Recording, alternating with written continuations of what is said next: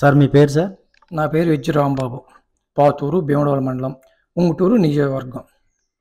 Sir ఇప్పుడు ప్రజెంట్గా ఆంధ్రప్రదేశ్లో జనసేన టీడీపీ రెండు కలిసి పోటీ చేస్తున్నాయి. ఇదే నేపథ్యంలో టీడీపీ పార్టీ జనసేన పార్టీకి ఇరవై నాలుగు సీట్లు మాత్రమే కేటాయించింది అని చెప్పి వైసీపీ వాళ్ళు ఆరోపణ చేస్తున్నారు.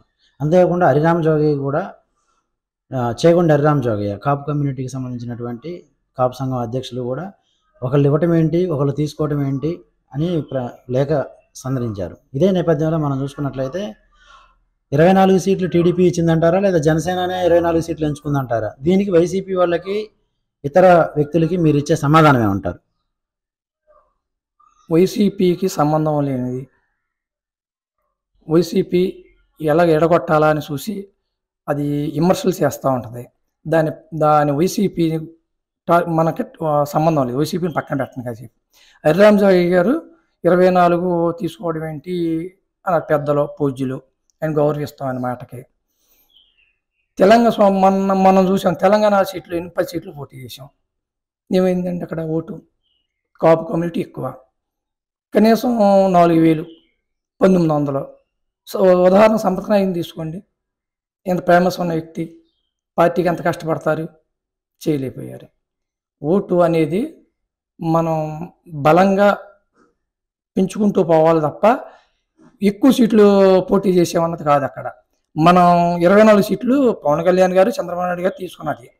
ఆ ఇరవై నాలుగు సీట్లు ప్రతిదీ గెలవాలని ఆశే గెలుస్తారు కూడా. ఎక్కువ పోటీ చేసి ఓడిపోయి ఉన్న వెనకాల ఉన్న వాళ్ళు చిన్నవాళ్ళు జనసేనకి సపోర్ట్ చిన్నవాళ్ళు. ఆస్తులు కానీ కేడర్ కూడా ఇప్పుడిప్పుడే పుంజుకుంటారు అంత యువత.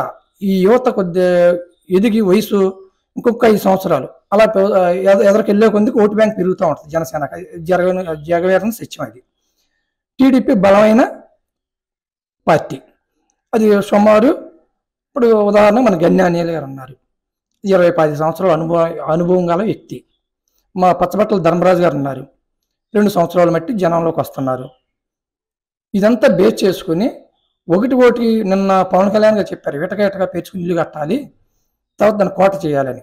అలాగే జనసేన కూడా ఇప్పుడిప్పుడే పుంజుకుంటూ దాన్ని చిన్న స్థాయిలో ఇచ్చి వాళ్ళు ఇప్పటికైనా ఇప్పటికైనా అది రాజ్య రా ముఖ్యమంత్రి అయ్యే పొజిషన్ పవన్ కళ్యాణ్ ఉంది. అది ఇప్పుడు ఇప్పుడు సాధ్యం కాదు. అది మన ఆశించ మన ప్రజలు కూడా ఆశించకూడదు. ప్రజలంటే పవన్ కళ్యాణ్ గారిని ఆదా ఆదరించే యువత అది అర్థం చేసుకుంటే కొ- ఇప్పటికైనా భవిష్యత్తు నడుతాయి. రాజ్యం రా ముఖ్యమంత్రి స్థానం పవన్ కళ్యాణ్ గారు చూడగలరు ఇప్పటికైనా. అది ఇప్పటికి మన చంద్రబాబు నాయుడు గారు పవన్ కళ్యాణ్ గారు తీసుకున్న నిర్ణయానికి మనం కట్టుబడి ఉండాలి. ఈ వైసీపీ అనేది ఎదగనీయకుండా జనసేనని ఎదగనీయకుండా టీడీపీని కలవనీయకుండా చేసే ప్రయత్నమే వాళ్ళ విమర్శనలు వాళ్ళ గురించి మన మైండ్లో డిలీట్ చేసి ఎంతసేపు మన పార్టీ జనసేన టీడీపీ కలయిక. ఏదైనా మనం ఇప్పుడు ఓటు బ్యాంక్ ఉంది. ఇద్దరు ఇంతకుముందు విడివిడిగా పోటీ చేశారు. ఇద్దరు నష్టపోయారు. ఇప్పుడు కలిసి చేస్తే ఆ ఓటు మొత్తం అనేది ఆ ఓటు అనేది జనసేన కావనే టీడీపీ కావనే అది చాలా ఉపయోగపడుద్ది. ఇద్దరు కూడా కలిసి చేసిన కలిసి చేయడం వల్ల మనకు లాభం ఉంది యువతకు భవిష్యత్తు ఉంది.